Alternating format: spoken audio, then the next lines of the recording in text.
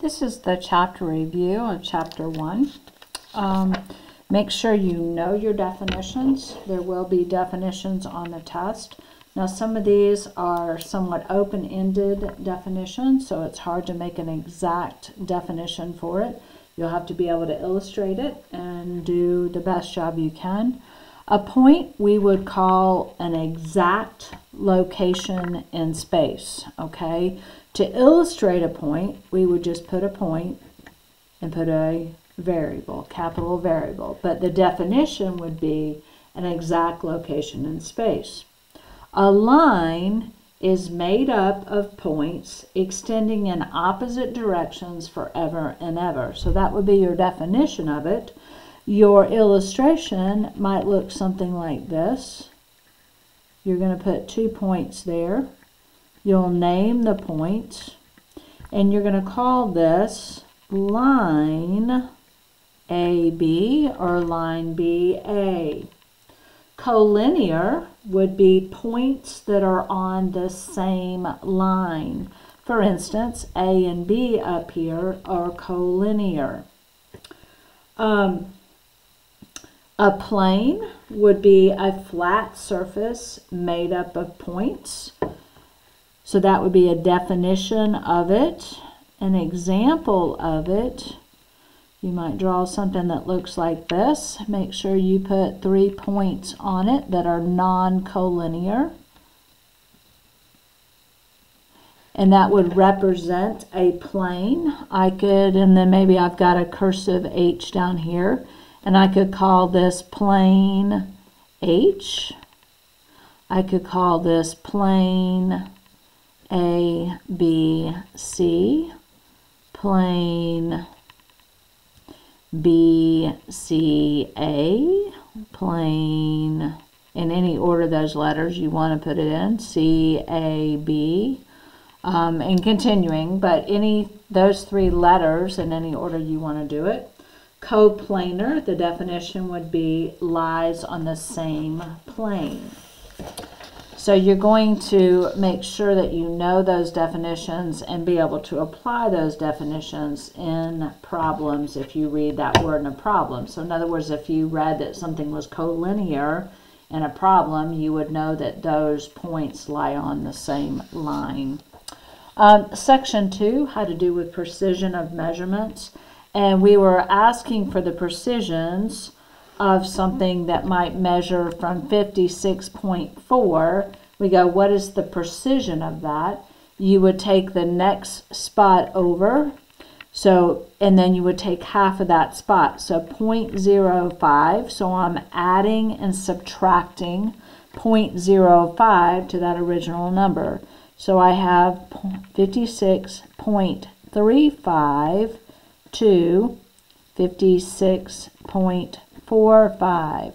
So the number 56.4 is the precise number of numbers ranging from 56.35 to 56.45. On this one, I have 0.0005, one, two, three spots. The next spot, half of that spot is 5, so I'm going to add or subtract so when I subtract, I get 1.4515. When I add, I get 1.4525. So that would be the precision of that number. Now when you have fractions, you do it a little bit different. What you're going to do is you're going to take the bottom number of the fraction, you're going to multiply it by 2. So I'm going to add or subtract here 1 tenth okay, because 5 times 2 is 10. So I am going to take this number, which is actually 8 tenths, if I gave it a common denominator of 10. And so when I subtract 1, I get 7 tenths. When I add 1, I get 9 tenths. So that is the precision of 4 fifths.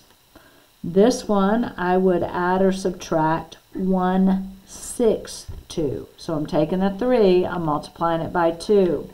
This is the same as 4 6. So when I subtract, I get a 3 6. When I add, I get a 5 6. But don't forget, any fraction you see that can be reduced should be. So I'm going to change this to 1 half to 5 6. So make sure you can find the precision of a measurement. And then you have to use the concept of betweenness to solve a problem. Between just literally means somewhere between two points. So an example of the problem might be that you find the value of the variable, okay, so the x or the q or the w, and then it tells you that, and, and you're trying to find the variable plus pb if p is between a and b. Well, I don't know where it falls, but I'm going to go ahead and draw my illustration so I can understand by looking at it what's going on. There's the line AB. I'm going to put P somewhere between those. Then it tells me AP is 7. It tells me PB is 3x. And it tells me AB is 25. Well, you can see that if I add the 7 plus the 3x, I should get the total measurement of 25. So that becomes my illustration that turns into an equation. So I have this. I'm just simply going to use algebra to solve it. So I'm going to subtract 7 from both sides. That's going to give me 3x is equal to 18. When I divide by 3, I'm going to get x is equal to 6. So there's my variable. But then I've got to plug back in to find PB. So 3 times 6 is going to give me 18 because that's the equation for PB. So those are the two things that I'm looking for. Um, another, it's still using the same figure here. So if I go ahead and redraw my figure, and I've got A, and I've got B, and somewhere in the middle I've got a P. It tells me AP is S plus 2. PB is 4S. And then it tells me AB is 8S minus 7. Again, the two parts added together gives me the whole. So I have S plus 2 plus 4S is equal to 8S minus 7. So combining like terms, I get a 5s plus 2 equals 8s minus 7.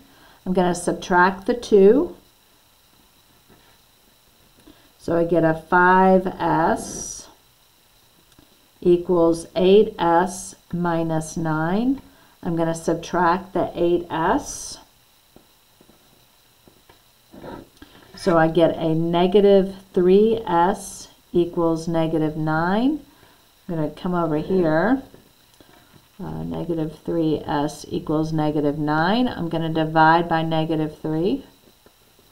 And I'm going to get s is equal to 3. Well, that's part of what I was trying to find. But then I've got to plug back in for my PB, which is 4 times S. So I go 4 times 3.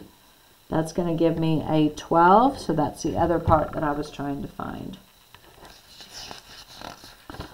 Definition of congruency means it has the same size. So you have to look at segments and tell whether they're congruent or not and write your congruency statement.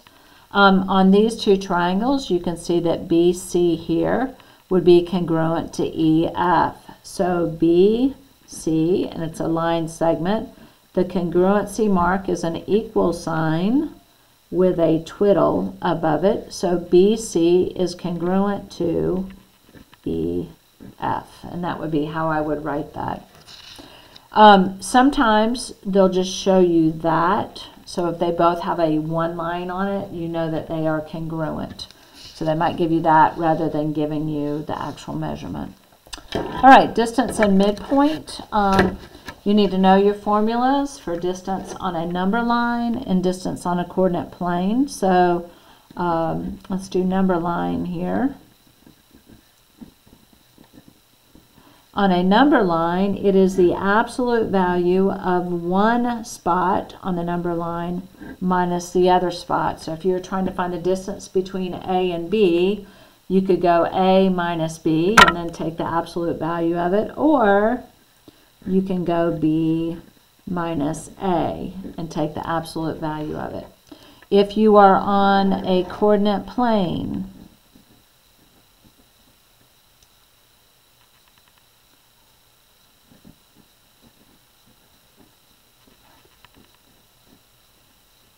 you are going to use the distance formula, which is the square root of the difference between the x's, x sub 2 minus x sub 1 squared, plus the difference in the y's, x, y sub 2 minus uh, y sub 1 squared. The midpoint formula on the number line, you're going to take the two numbers that you're trying to find the middle point between. You're going to add them together and you're going to divide by 2. With the midpoint, you're basically just finding the average. Um, on the coordinate plane, the midpoint x, you're going to go x sub 1 plus x sub 2 divided by 2. So you're going to add the two x values together and divide it by 2. The midpoint y is the exact same thing. You're going to go y sub 1 plus y sub 2 divided by 2. Okay, so make sure you know those formulas, and then you're going to have to be able to use those formulas. So if I'm trying to find the distance between these two points, they, of course, are on a coordinate plane. So I'm going to take the square root of 4 minus 3 Actually, I did my y's first, but it doesn't matter. You can do your x first or your y's first. Doesn't matter. Negative 7 minus 3 squared. And I'm going to get 1 squared, which is 1. And I'm going to get a negative 10 squared, because I'm going to add the opposite there, which is going to be 100. So the distance between those two points would be the square root of 101, which is approximately 10.0. So that would be the distance between those two points on a coordinate plane. If I was going to try and find my midpoint between these, so I'm looking for the point, the ordered pair that's exactly in the middle between those two. So the midpoint x is equal to negative 6 plus 12 divided by 2. So that's going to give me 6 over 2 or 3. So the midpoint x, or the point exactly in the middle, is 3. Then I'm going to do the same thing for the y. Midpoint y is equal to negative 3. I'm going to add my y's together, plus negative 7 divided by 2. So that's going to give me a negative 10 divided by 2, or a negative 5. So the point that's exactly in the middle between this point and this point would be a 3, negative 5. Section 1.4, you need to be able to measure an angle using a protractor, be able to name it, and be able to classify it, whether it's a right, which means it's exactly equal to 90 degrees, an acute, which means it's less than 90 degrees, or obtuse, which means it's greater than 90 degrees. So I'm going to line up my uh, center point on my vertex. I'm going to use the outside numbers because that's when I take my line and extend it, the zeros on the top there. Then I'm going to come back over here and it's going to be approximately 140 degrees. Okay. Now, if I want to name, so obviously this is an obtuse angle because it's greater than 90 degrees. So there's the angle symbol. I could name this angle A, B, C, angle CBA, or in this particular circumstances, I could name it angle B. Um, they might even give me a number there that I could name it by that number. But remember, you cannot start with a vertex. Okay, the angle is formed by two rays that have a common endpoint. That endpoint is what we call the vertex. An angle bisector cuts an angle exactly in half. And so we'll have to be able to use that in problems, use that concept in, in problems. Um, in this one, and these are all rays, okay, it says CB and CD are opposite rays, which means they form a straight line. CE bisects DCF. Now that means that cuts that exactly in half, so that angle and that angle would be congruent. Then it also says that CG bisects angle FCB. So that angle and that angle would be considered congruent. Okay, notice these two have one mark, which means they match up. Those two have two marks, which means they match up. So in this particular one, I'm going to use this information to solve this problem. It says DCE, which is this, has this measurement. So that's that measurement. ECF has this measurement. These two are congruent, which means I need to set them equal to each other. And then solve, and it's asked me to find this particular angle, so I'll have to plug it back in. So I have a negative 2x by subtracting my 6x. I'm subtracting my 15, which gives me a negative 20. And when I divide, I get a positive 10. So then I plug it back into this formula. So I have 4 times 10 plus 15. So I have 40 plus 15, or I have a 55. Okay, so that's going to be the measure of angle DCE. Okay, same illustration. Down here, they give me the measurement of this angle, which is this. They give them, me the measurement of this angle, which is this. Again, they're congruent angles, so I set them equal to each other and solve. Subtracting the 13x, I get a negative 4x. Subtracting the 3, I get a negative 12. When I solve by dividing by negative 4, I get a 3. But I have to plug it back in because I'm trying to find C GCB. So 13 times 3 minus 9. So this is going to give me a 39 minus 9, which is going to give me a 30. So that is the measure of that angle. Section 1.5 is about angle relationships. You need to be able to define these and recognize the following terms. So if I have an adjacent angle, it's two angles that lie on the same plane that share a common endpoint. So here's an angle.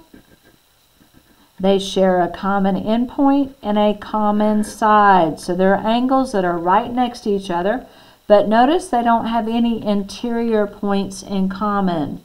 So angle A, B, C would be adjacent to angle C, B, D. They have a common endpoint and a common side.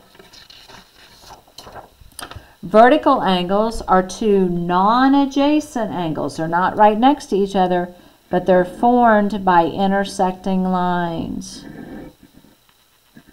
So if I number these angles, I can say angle 1 and angle 3 are vertical lines. They're right across from each other. They share a common endpoint, but no common sides, and they're formed by intersecting lines. Angle 2 and angle 4 are also um, vertical angles. So they're right across from each other. A linear pair is a pair of adjacent angles whose non-common side are opposite rays. So in other words, they form a straight line when put together. Okay, they have to be right next to each other, and they have their here's the side they have in common, but their non-common side forms a straight line. So angle 1 and angle 2 is a linear pair. Complementary angles are two angles whose measure have the sum of 90. Notice it doesn't say that they have to be adjacent. They can be adjacent. So angle 1 and angle 2 are equal to 90 degrees. They are complementary angles. Or I might have A, B, C, and that might be 30 degrees. And then let's say I've got this angle, which is X, Y, Z, and that's 50 degrees. Well, obviously when you add the, oops, should be 60 degrees. When you add these two angles together, they equal 90. So angle ABC is a complementary angle to angle XYZ. Now supplementary is the same except for they add up to 180. And again, they can be adjacent.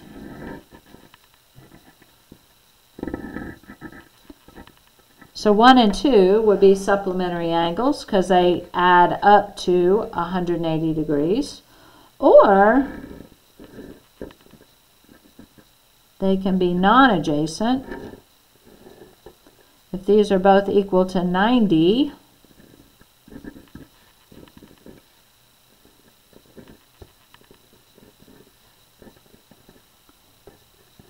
then these two, angle ABC and angle DEF, would be supplementary angles because together, when you add them, they equal 180. So again, these two do not have to be adjacent. All right, perpendicular lines are lines that form a right angle when they cross. So they intersect and they form a right angle. Actually, if you will, they form four right angles. Um, so we have to use the above definitions to solve given problems. For instance, if I looked at this illustration and I said name a pair of adjacent angles, I could say angle 4 and angle 5. Any two angles that are right next to each other are adjacent angles. A linear pair would form a straight line. Okay, this angle and this angle, so angle 1 and angle, I have to use letters for this, R, Q, P would be a linear pair. Vertical angles be formed by intersecting lines. The lines have to intersect. It would be angle 1 and angle 5. Using this information in a problem, um, let's say I need to find the measure of angle FGE if I have this as my formula. Now notice I've got a 90 degree mark there and I'm finding that so that FC is perpendicular to AE. So I know that that's got to equal 90 degrees. So 5x plus 10 equals 90. I'm going to subtract the 10, so I have 5x is equal to 80. When I divide, I'm going to get a 16. Now, that's all they were asking me for was the x.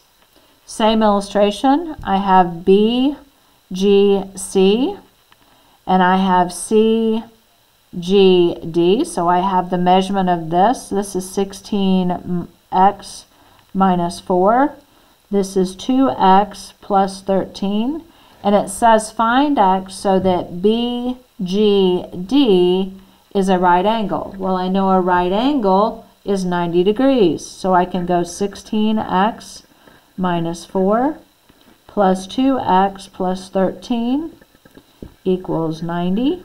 Combine like terms, so I have 18x and I have 9 equals 90.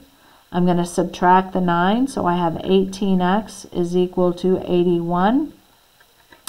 When I divide, I should get, um, let's see, 81, 18. I'm going to get 4.5. And that's all I was looking at was how to find the x, okay? Section 1.6 is polygons. Uh, you need to be able to name a polygon based on the number of its sides. There's a chart on page 46 that has them all listed out for you. And you've got to be able to tell whether it is concave. When you extend the lines, does it uh, cross over on itself? Or is it convex? And if it's convex, is it regular? All the sides have the same measurement and all the angles have the same measurement. Or is it irregular, that the sides and angles have different measurements? Uh, you got to be able to use that information about the polygon to be able to solve perimeter problems both on the coordinate plane and not on the coordinate plane. Obviously, if it's on the coordinate plane, you're going to be using the distance formula. If it's not, it might look something like this. Find the length of each of these sides um, for the polygon, and I'll go ahead and put letters here so we can distinguish the sides. Um, if it has this given perimeter. So remember the perimeter means the distance all the way around it. Now if you see this has congruency marks on it. So if this is 6n minus 8, this one is 6n minus 8. If this one is n, this one is n. Now when I add these all together, it should give me 26. So I can I could do it this way where I have two sides that are 6n minus 8 and then I have two other sides that are just n. And when I add that, I should get 26. So I'm going to do distributive property on this, or you could list them all out individually and just add it. So I have 12n minus 16 plus 2n equals 26. So I have 14n minus 16 equals 26. I'm going to add the 16 to both sides. So I have 14n is equal to 42. And then I'm going to divide by the 14. And that should give me 3, I believe. Let me double check that. But yeah, comes out even at 3. So, but remember, it asks for the length of each side. So AB and DC, I've got to plug back into this. So this would be 18 minus 8. I put the 3 in for the n. So 18 minus 8 is 10. So both of those sides are 10. And of course, the BC and the AD are both equal to 3 because they're equal to n.